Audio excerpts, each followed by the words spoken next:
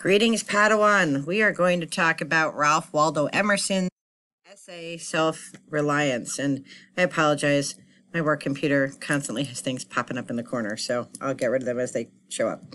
So, published first in 1841 uh, in a collection of essays, uh, Ralph Waldo Emerson published Self Reliance. He then um, he re-released it in 1847 and what's important about that and the difference between them is that when he first published self-reliance in 1841 there were three epitaphs uh, the latin here uh, this uh, selection from a poem and then he had his own epitaph. And then in his revised version he took out his epitaph the one that he wrote and then um, in modern renditions of the essay of uh, editors have put it back in.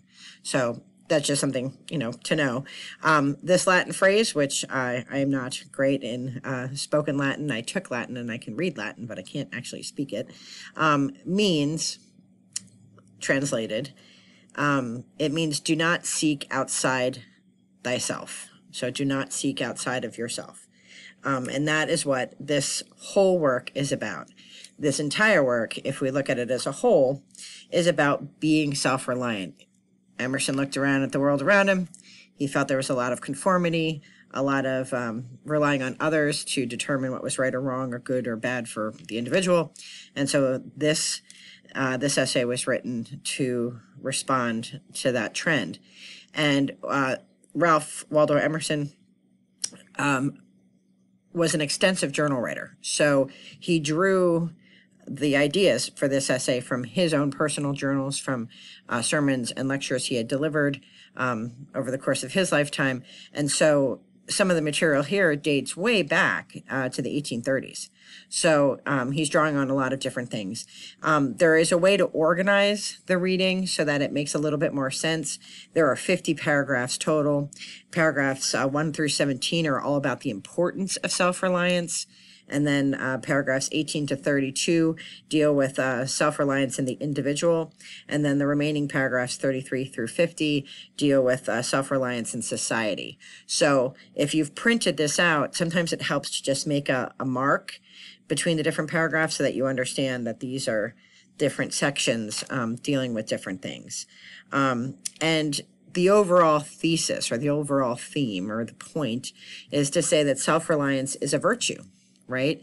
It is the ideal. And we should be, um, we should be self-reliant. We shouldn't rely on the government. We shouldn't rely on others to establish or determine what is right or wrong, good or bad. And so that is what this is about. And uh, we're going to go piece by piece through some of these paragraphs just to point out some some cool phrases, some cool things that I think are cool. Um, you have an, a, a project to do where you're going to pull out things that you think are cool.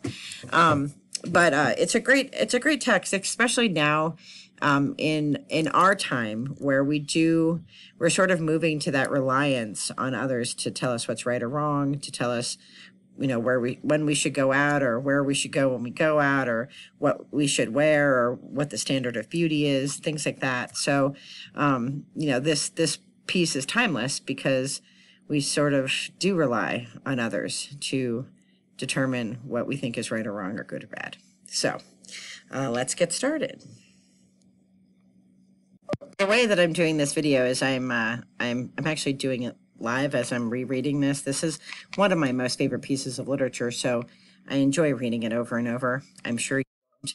Um, so in this first paragraph, um, Emerson says, I read the other day some verses written by an eminent painter, which were original, but not conventional, right? And and so he he starts off by saying, you know, you know, this great person said this great thing, and you know, and I read it, and then in this paragraph he goes on to say, you know, when you have a great thought, it doesn't matter if you're a great painter or a great, you know, actor, you know, you have a great idea that's a great thought and you're entitled to say it.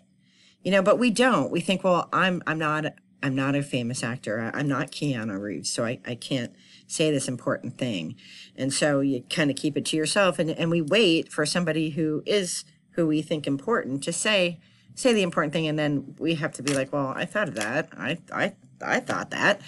And we can see that, right? Like we can see that even like when we look at um, where we take advice from, you know, musicians, actors are always weighing in on political things, and uh, and we think, oh, you know, well, you know, Bill, Will Smith said such and such, or or you know, I don't know,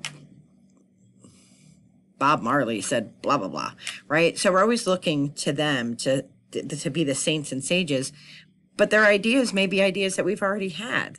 So what Emerson is saying is, you know, you're good enough. You're great enough on your own. You can go ahead and say it and pronounce it to the world. You know, have your statement and say your statement and be proud of it. Don't wait for others to say it. So, um, in the second paragraph, he says, There's a time in every man's education where he arrives at the conviction that envy is ignorance, that imitation is suicide, and that he must take for himself, for better or worse, as his portion, that though the wide universe is full of good, no kernel of nourishing corn can come to him but through his toil bestowed on the plot of ground which is given to him to till. And you're thinking, oh my gosh, that's a whole lot of words. But what that means is, you know, you are all students right now, right? And and each semester you have classes where you're given information and uh, some of you are going to be nurses i know we have some nurses in here i always have lots of nurses you know and and you know that when you get into nursing when you become nurses what's going to come back to you are the things that you learned about patient care right and you're probably not going to think about American romantics when you're, you know, when you're drawing blood or you're giving medicine, right? But what he's saying is that until you know what you need in any given situation, you don't know that. But then when it comes time, only you can apply that knowledge, right? So while maybe American Romantics isn't going to help you in an operating room, the spirit of humanity or loving humanity or understanding the human condition, which is what literature does, that will help you because you will think to yourself, okay, well, I'm dealing with this patient who may have this different worldview than I have. And um, I may not agree with him or her, but they have the right to have that worldview and and I can respect that person's worldview and I I'm not going to you know contract it like a disease right so I can treat the individual because I understand more about humanity and I understand all the participants of humanity and so um, so your education, which, you know, I've worked in higher ed my whole life, uh, save a few years when I was a missionary teacher, and I worked in a, in a high school. Um, you take with you what is important, but you have to plant the seed. I can give you the seeds. Your other teachers can give you your seeds. They, your professors, they will give you corn, but you have to plant it if you want it to grow. And so you decide you know, what's worth it and what's not. And what he says next is you can trust yourself. You can trust yourself. You can trust yourself. You don't have to rely on all these other people. You alone are smart enough and good enough that you can trust yourself with your ideas. Right? Um, which is really a very conflicting message, right? Because we get magazines or and not anymore right? We don't get paper but on the internet we see you know pictures of these amazing people who are beautiful and they are you know so well spoken and they're gorgeous and they're photoshopped right? Nobody actually looks that great all the time. Photoshop and you know um, being able to edit video so that people sound smart or don't sound smart you know we have always had a culture where we've said this is perfection and then we're going to sell you products that make you that. And unfortunately you can buy all the products and you're not going to be that because that wasn't real in the first place. And you think about um, think about you know i love photography so i take a lot of photos and i edit them so that they look better. But it isn't a true capture of that first thing that i took a picture of because i've you know I've changed the hue or I've changed the lighting a little bit or I've hidden the shadows or I brought out the black point, right? So, you know, even even in simple things like photography, you know, we change it so that it matches a more perfect idea of what we want it to look like. Thoreau, uh, Emerson is saying you don't have to do that. right? The original idea, that's good enough, right? Um, so as you read on, you're going to read a lot of different uh, examples that he gives of, um, of, of times and places where, you know, other people have spoken and, and um, it would have been okay for, you know, a person to speak on their own. Um, so, and he talks about voice and your voice. What is your voice? So there are voices which we hear in solitude, but they grow faint and inaudible as we enter into the world. And doesn't that like really happen, right? So you might be thinking at home in the shower, you're thinking about something, but then you go out in the world and hear everybody else's opinion. You're like, oh, well, you know, maybe, hmm, maybe I shouldn't think that. Maybe I, I should think this. And and election time is always a really good example of this, right? I belong to a third party, so I get to see both parties fight with each other and carry on. And it's like, whoo, you know, they're kind of saying the same things, but they're just name calling the other side. Um, and so he says, society everywhere is in conspiracy against the manhood of every one of its members. And by manhood, he means humanhood, right? And you know, like we we listen to all these voices and then we kind of become afraid of our own voice you know in in that in that loud clamoring noise. So the virtue in most request is conformity right? And we see that. Like we we educate our children. You know we take them to school. They line up in a line. They go in the door. They go to their classes. They go to lunch at a certain time. We train people right from the beginning to conform to a standard. And you know, anarchy would ensue if we didn't have some sort of control, right? But what is the balance? You know, what is the balance? At what point is conformity too much? And what at what point is it necessary? Um, whoso would be a man must be a nonconformist. So, and of course, he means human. Um, and you know, just remember when this was written, you know, they didn't have politically correct speech, so he's not. He's, he he was actually very much a supporter of women's rights and very influential in the life of Louisa May Alcott, who never married, um, and wrote uh, prolifically and, and loved and loved um, Hawthorne. So, I'm um, sorry, Emerson. I read all this stuff so much I get their names. So, um, so you know, don't get caught up in in the gender uh, spe- specific words that he uses because PC wasn't a thing. So he goes on to talk about how nothing is at last sacred but the integrity of your own mind.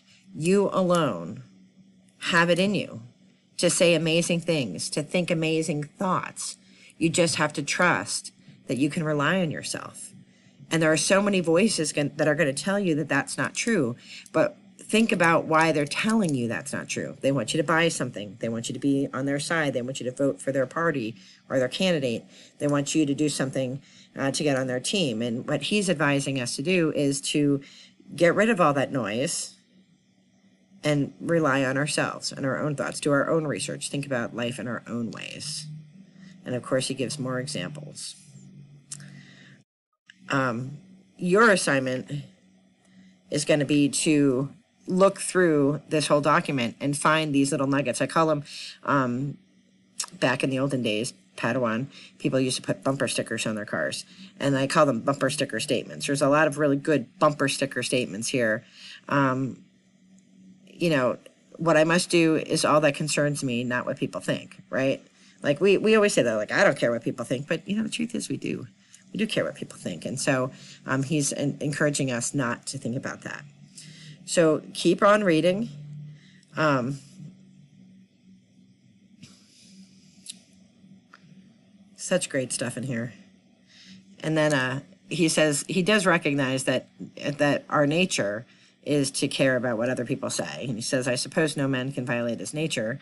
Um, you know, so he does recognize that, you know, at some level, you know, we, we need acceptance to be, you know, part of the human, you know, experience. Um, but for as much as is possible, we should be nonconformists. And then he talks about, I hope in these last days we've uh, heard the last of conformity and consistency. And that would be interesting to think about today, right? Especially given our current political climate, given COVID and how things have shaken down. I mean, we are living in the time of a plague and the aftermath of a plague, right? So, um, compared to the bubonic plague, right? You know, where there was less communication and you know less reliable medicine. Um, you know how are we handling it? How are how are we you know how are we responding to one another about how we think about it right so you continue on you're going to find some really good nuggets. I i do recommend breaking this up into the three sections i told you and reading each section at a time uh, just because it is longer. Remember there's no tv or youtube so uh, people like to listen to lectures and like to read. Um, and and he talks about the spirit of man humankind man is timid and apologetic he's no longer upright he dares not say i think i am but quote some saint or sage and that really is sort of the kernel of this piece is that we rely on others, whoever the others are priests, pastors, teachers, doctors, politicians, actors, athletes. We rely on others and quote them instead of quoting ourselves. Even now, ironically so, I am quoting him as saying amazing things, right?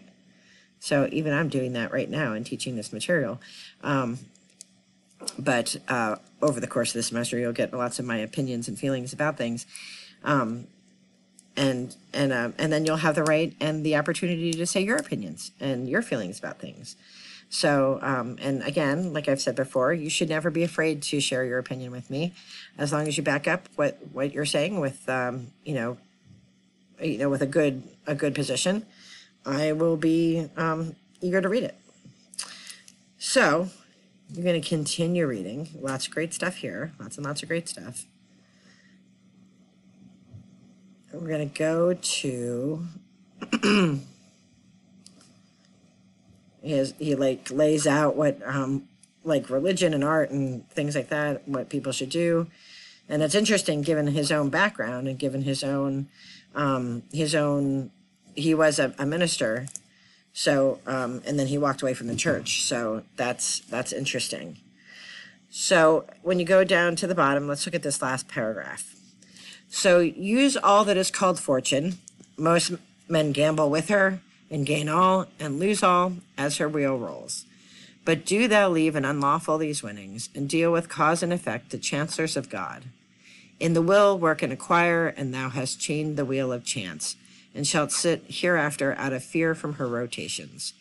A political victory, a rise of rents, the recovery of your sick, or the return of your absent friend, or some other favorable event raises your spirits and you think good days are preparing for you. Do not believe it. Nothing can bring you peace but yourself. Nothing can bring you peace but the triumph of principles. And that is how he ends the work. You know, um, every day is going to bring you different things, but only you can bring yourself peace. And you bring your peace to yourself by relying on your own self, relying on your own principles, and establishing your own thoughts and feelings about the world. All right, so this is your first, uh, you know, uh, Emerson reading. He is uh, by far one of my most favorite writers, and I hope you enjoy him too.